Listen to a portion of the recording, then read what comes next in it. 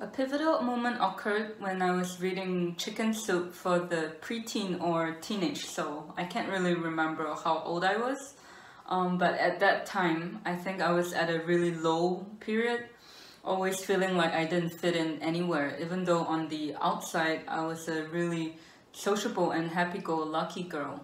I can't really remember what the story or passage was, um, but it was somewhere along the lines that um, no one actually really cares about you, uh, but not in a negative way.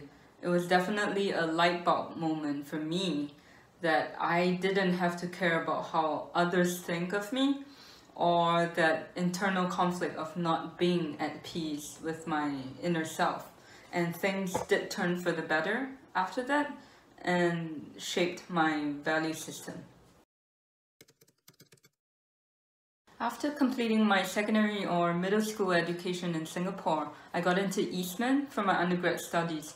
So I didn't get to go to high school and immediately entered a whole new world. I was completely ignorant back then, like not even knowing the difference between a clarinet and oboe. Uh, Mr. Zvi Zeitlin had the single biggest impact on my life thus far. He was my mentor and professor at Eastman not only through his teachings, but the way he lived his life and how he cared for my development as a musician and person. His worldview on life, music, and the arts really showed me what curiosity, dedication, and resilience are. Even though he has already passed on, I definitely carry those values forward in my own life and as a musician, educator, and most importantly, as a person.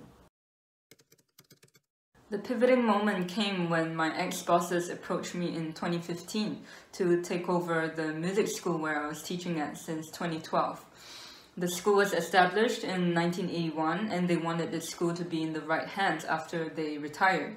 They had faith in me even though I had zero knowledge in business or management. So I took a long time to decide and realized that despite not knowing anything, I would rather take risk and learn than to stay in my comfort zone. The steep learning curve has been so invigorating for me. It taught me to see things from a beginner's and growth mindset.